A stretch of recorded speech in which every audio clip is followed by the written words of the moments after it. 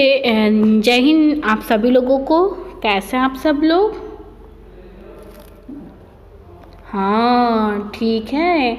कोई बात नहीं, लेकिन देखिए हमको अपने आप को क्या करना है? सुरक्षित रखना है सेफ़ रखना है। तो सब बच्चे अगर घर से बाहर निकलेंगे तो मास्क लगा के निकलेंगे और घर पे भी लोगों से दूरी रहेंगे। कुछ खाने से पहले, कुछ खाने के बाद प्लीज़ प्लीज़ प्लीज़ आप लोग हाथ धो के ही खाइएगा। ठीक?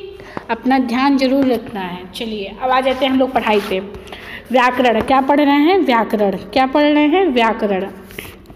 इन वाक्यों को ध्यान से पढ़िए। जो ये वाक्य दिए हैं क्या? कि इन वाक्यों को ध्यान से पढ़िए। हम लोग इसके पहले, अभी आप लोग को जूम क्लास पे भी मैंने समझाया और इसमें भी समझा दे रहा है। अगर कुछ भी दिक्कत हो, फिर भी आप पूछ लीजिएगा। बच्चा रो रही है।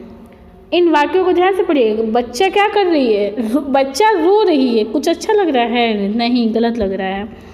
सड़क पर गाड़ियाँ जा रहा है। क्या सही लग रहा है? नहीं, गलत है।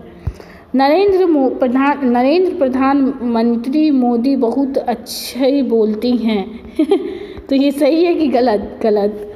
जैसे यहाँ दिया है, आपको समझाने के लिए पढ़ रहा है, इसलिए बोला था कि ध्यान से पढ़िएगा। उपयुक्त वाक्यों को मतलब ये सारे वाक्यों को आपको पढ़ने पर क्या चल रहा है? पता चल रहा है कि ये वाक्य अशुद्ध हैं मतलब गलत हैं। लिखते या बोलते समय हम, जो ये वाक्य हम लोग पढ़े हैं ना अभी, कि बोलती हैं, अच्छी बोलती हैं, मोदी जी सड़क पर गाड़ियाँ जा रहा है। तो मतलब ये बोलते और लिखते समय क्या लग रहा है? कुछ अजीब लग रहा है। हम कई बार भाषा का प्रयोग गलत करते हैं, जिस कारण? यहाँ देखिए कि जिस कारण उन्हें समझे, समझ पाना क्या होता है? मुश्किल होता है, कठिनाई होता है। अगर देखिए उसी को अगर हम सही करके बोले तो क्या होगा? अब इन वाक्यों को पढ़िए, बच्चा रो रहा है मतलब ये सही है। अब वहाँ दिया था कि बच्चा रो रही है तो वो सही था, गलत था। क्यों? कि मतलब वो अशुद्ध था, गलत था। ठीक सड़क पर गाड़ियाँ जा रही हैं, वहाँ दिया था गाड़ियाँ जा रहा है तो वो गलत था। फिर क्या है कि प्रधानमंत्री नरेंद्र मोदी बहुत अच्छा बोलते हैं, और यहाँ दिया था कि नरेंद्र प्रधान मोदी बहुत अच्छा तो तो ऐसे सब गलत है वाक्य।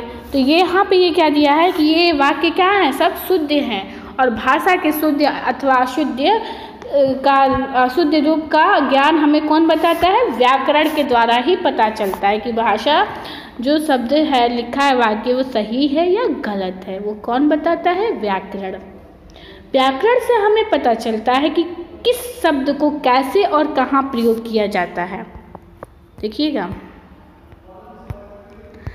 व्याकरण से हमें पता चलता है क्या कि कौन से शब्द को कैसे और कहाँ प्रयोग करना है।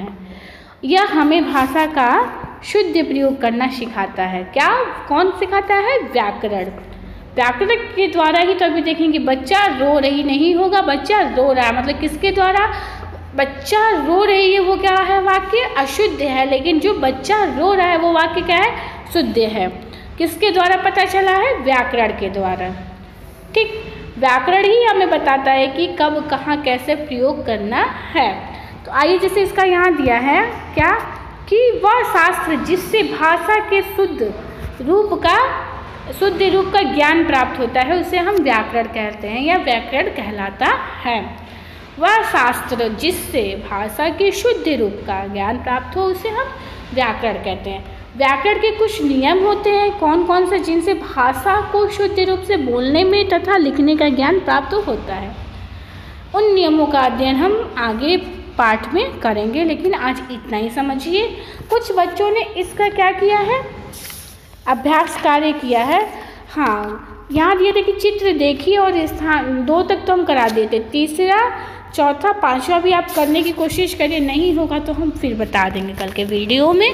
आज इतना ही रहने देते हैं। ओके बेटा thank you have a nice time